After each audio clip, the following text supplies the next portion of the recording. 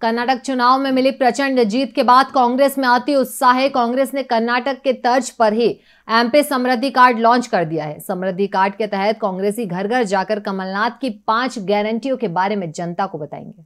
प्रदेश youth Congress अध्यक्ष विक्रांत भूरिया ने कहा कि कांग्रेस ने अभी तक अपने सबसे महत्वाकांक्षी अभियान एमपी समृद्धि कार्ड को लॉन्च किया है, जिसके तहत डोर टू डोर कैंपेन कर कमलनाथ की पाँच गारंटियों के बारे में जनता को बताया जाएगा। जिसमें पाँच सौ रुपये में gas cylinder, old pension scheme, सौ यूनिट बिजली बिल माफ़ और दो सौ यूनिट हाफ़। महिलाओं को पंद्रह सौ रुपये प्रतिमाह और किसान कर्ज माफ़ी आदि शामिल है। साथ ही जो फ़र्स्ट टाइम वोटर्स हैं, उनसे संवाद किया जाएगा। विक्रांत भूरिया ने कहा कि वोटर लिस्ट की कमियों को दूर भी किया जाएगा।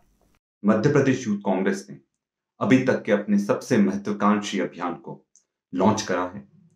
मध्य प्रदेश समृद्धि कार्ड। मध्य प्रदेश समृद्धि कार्ड के माध्यम से हम हर घर के दरवाजे तक जाएँगे, हर घर पर दस्तक देंगे डोर टू डोर कैंपेन करेंगे और वहाँ तक जो कमलनाथ जी की पाँच गारंटी उनको पहुँचाने का काम करेंगे। साथ में जो फ़र्स्ट टाइम वोटर्स हैं, जो पहली बार मतदान दे रहे हैं, उन वोटर्स को भी चिन्हित करा जाएगा। जो भी त्रुटियाँ वोटर लिस्ट में पाई जाती हैं, उनको दूर करा जाएगा।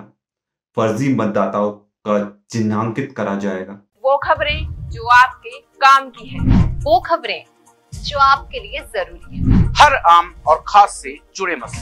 हर मसले का सटीक विश्लेषण। हम करते हैं सत्य का अन्वेषण। दखल न्यूज़। आपके हक में। आप देख रहे हैं दखल न्यूज़।